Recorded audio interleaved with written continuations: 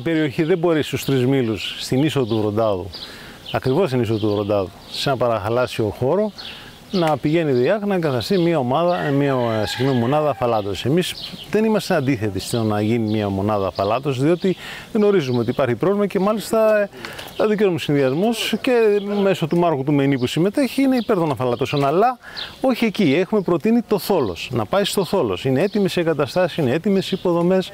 Δεν μπορώ να καταλάβω γιατί. Γιατί αυτή η αιμονή. Η οποία αιμονή τώρα μπλέκει σε δύο πράγματα. Και στο ότι ο χώρος ανήκει στη μετά τα ΙΠΕΔ, άρα εκεί θα υπάρχει κάποιο πρόβλημα το οποίο γνωρίζει η ΔΕΙΑ καλύτερα από εμάς, αλλά και γιατί αντέδρασαν και οι κάτοικοι με το δίκαιο τη εκεί της περιοχής.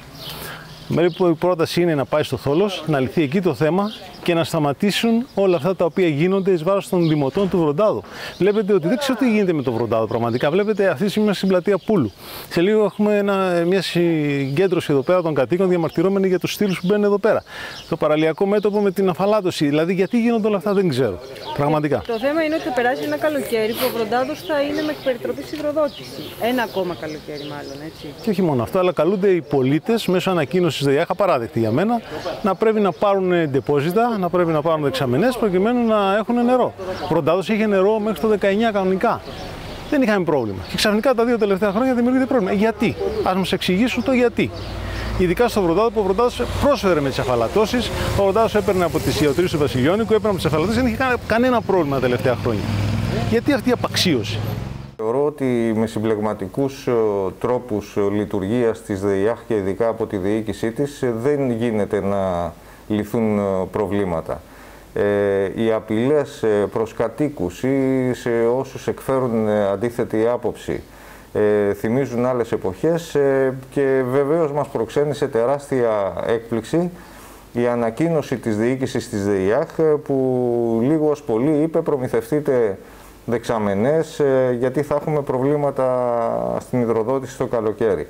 Αυτό να το πούμε στην καθομιλουμένη ε, εμάς μας θυμίζει ένα πλοίαρχο ε, επιβατικού πλοίου ο οποίος λέει επειδή θα αναβαγίσουμε, καλού κακού έχετε και ένα σωσίβιο μαζί, μπορεί να σωθείτε. Είναι ανεπίτρεπτα αυτά τα πράγματα.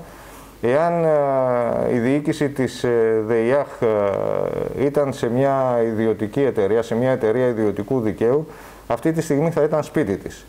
Δυστυχώς όμως βλέπουμε ότι όταν διαχειριζόμαστε το δημόσιο χρήμα ή έχουμε στα χέρια μας ε, εξουσία σε εισαγωγικά, ε, πέφτουμε από λάθη σε λάθη ε, και το αποτέλεσμα είναι ότι την πληρώνει ε, ο, ο κόσμος του Βροντάδου που για δεύτερη, ίσως και για πολλωστή φορά δεν ξέρω, θα μείνει χωρίς νερό.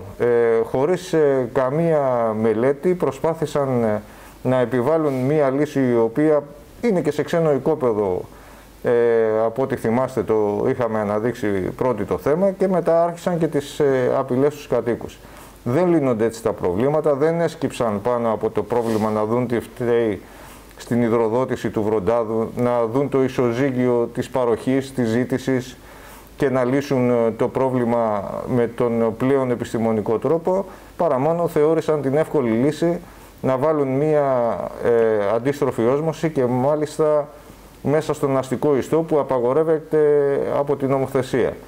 Ε, σας θυμίζω ότι στο διαγωνισμό δεν πήρε μέρος καμία μεγάλη εταιρεία του κλάδου ακριβώς γιατί αντιλήφθηκαν ότι ε, θα μπλέξουν ε, νομικά ίσως ε, και δεν θα μπορέσουν να διοδοτήσουν ούτε καν προσωρινά το έργο και επομένως θα έθεταν σε κίνδυνο την εταιρεία τους. Ε, σε αντίθεση, η διοίκηση της ΔΕΙΑΧ έβαλε σε περιπέτειες την εταιρεία, έβαλε σε περιπέτειες τον κόσμο του Βροντάδου και κατ' επέκταση τους δημότες μας. Η της λαϊκής συσπήρωσης από την πρώτη στιγμή ήταν ότι θα πρέπει να δοθεί μια ριζική λύση η οποία θα βοηθήσει τα μέγιστα το ιδρευτικό πρόβλημα του Βροντάδου το οποίο είναι ένα ζήτημα το που μας έχει ταλαιπωρήσει αρκετά. Με αυτή λοιπόν την έννοια μόλις βρέθηκε το τοπικό συμβούλιο από πλευράς της ΔΕΙΑΧ μια πρόταση, τη γνωστή πρόταση των Τόσων και μάλιστα μέσα στον οικιστικό ιστό και στο συγκεκριμένο μέρος τους Τρισμήλους. Καταλαβαίνετε ότι εμείς εκφράσαμε και τις αντιρρήσεις μας αλλά και τις επιφυλάξεις μας σε σχέση με τη συγκεκριμένη λύση και γι' αυτό κιόλας και θέσαμε ζητήματα αν υπάρχουν άλλες λύσεις και όλα αυτά. Δυστυχώς φάνηκε να είναι μονόδρομος και στη βάση αυτή ε, συνταχθήκαμε στο τοπικό συμβούλιο του Βροντάδου στην κατεύθυνση των αφαλατώσεων ως προσωρινή λύση μέχρι να βρεθεί μια λύση μόνιμη που θα επιλύει και το ζήτημα. Μέσα στο Δημοτικό Συμβούλιο όμως εκφράστηκε μια εντελώς διαφορετική, ε, κατατέθη μια εντελώς διαφορετική λύση από τον Μάρκο Τομανή, εκφράστηκε ε, φάνηκε μια άλλη φιλοσοφία πραγμάτων η οποία ήταν και πιο λογική και πιο σωστή. Δηλαδή η συγκεκριμένη μονάδα αφαλάτωσης να κουμπώσει με τις άλλες μονάδες αφαλάτωσης που βρίσκονται στο Μιλιγκά και στο Θόλος. Ζητήσαμε δύο φορές λαϊκής συσπήρωση να κατατεθεί αυτή η πρόταση προκειμένου να ψηφιστεί εναλλακτικά τόσο η διοίκηση της ΔΕΙΑΧ όσο και ο πρόεδρος του Δημοτικού Συμβουλίου αλλά και γενικά η Δημοτική Αρχή ήταν αρνητική σε αυτή την κατεύθυνση. Με αυτή λοιπόν την έννοια εμείς τότε αναγκαστικά και επειδή υπήρχε μία και μόνη πρόταση και μπροστά στο ιδρυτικό πρόβλημα του Βροντάδου που το γνωρίζαμε, οδηγηθήκαμε σε αυτή τη λύση. Πάλι με τις επιφυλάξεις μας και όλα αυτά. Στο επόμενο διάστημα και εφόσον ξεσηκώθηκε και ο κόσμος, τουλάχιστον όσον αφορά τους περίοικους που θίγονται, εμείς ζητήσαμε και μέσα στο τοπικό συμβούλιο αλλά και τις προάλλες στο Δημοτικό Συμβούλιο να αλλάξει αυτή η απόφαση και να οδηγηθούμε στην απόφαση και πρόταση του Μάρκου του Μενή που αφορά στο Μιλικά και στο Θόλος. Δυστυχώς η διοίκηση της ΔΕΙΑΧ με την κάλυψη της Δημοτικής Αρχής επιμένει σε μια λογική που την έχουμε δει και στη Βολισό και στον Καταράκτη, τη βλέπαμε και στο Βροντάδο, το take it or leave it. Ή το παίρνετε ή δεν κάνω τίποτα.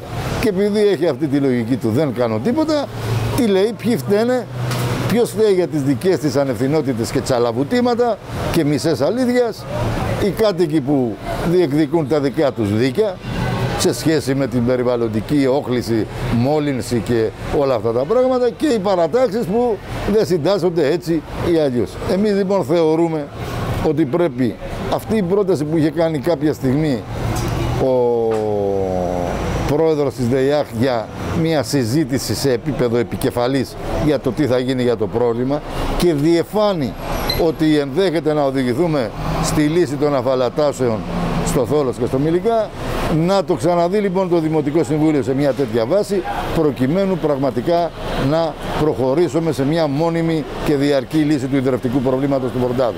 Όσον αφορά τώρα την εκπεριτροπής ίδρυυση, αυτή μπορεί να είναι μια ανάγκη που όμως αυτή η ανάγκη δεν οδηγεί σε λύση. Δηλαδή η λογική της ΔΕΙΑΧ να μας θυμηθείτε και του χρόνου θα είναι πάλι ο βροντάδος εκπεριτροπής. Εμείς να θυσιαστούμε μια χρονιά για το εκπεριτροπής, αλλά να δούμε μια μόνιμη λύση. Και για μας μόνιμη λύση είναι ο Θούλος και ο Μιλιγκάς. Από εκεί και πέρα δεν είμαστε διατεθειμένοι να διαιωνίζεται ένα πρόβλημα γιατί τσαλαβουτάει η διοίκηση της ΔΕΙΑΧ και έχει και τις πλάτες του Δημάρχου και της Δημοτικής Αρχής σε αυτές τις πολιτικές. Λεφτόδεντρα δε, για να το πούμε έτσι, δεν υπάρχουν στο βροντάδο για να παίρνει ο κάθε άνθρωπος διπλές και τριπλές δεξαμενές πάλι εξαιτίας των βαριών ευθυνών της διοίκησης της ΔΕΙΑΧ.